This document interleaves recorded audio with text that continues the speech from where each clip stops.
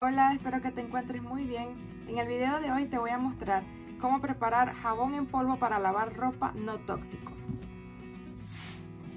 Para prepararlo solo vamos a necesitar cuatro ingredientes. El primer ingrediente es bicarbonato de sodio, el segundo ingrediente es carbonato de sodio, el tercer ingrediente es sal de Epsom y el cuarto ingrediente es sal de mar o sal rosada.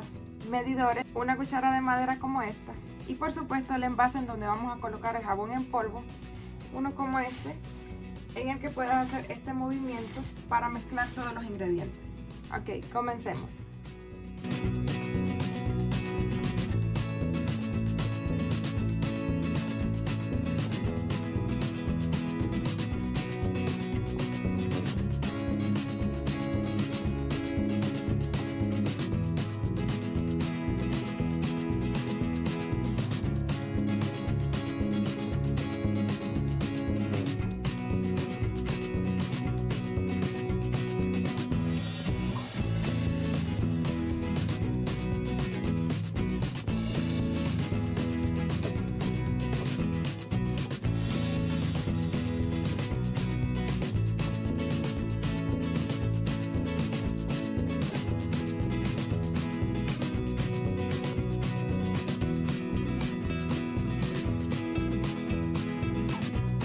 Espero que te haya gustado esta receta.